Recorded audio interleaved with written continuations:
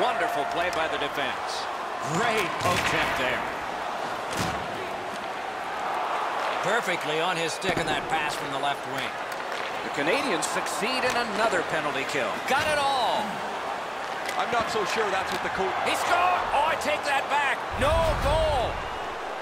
The Canadiens are celebrating, guys, but I don't think this goal is going to count. That looks like goaltender interference.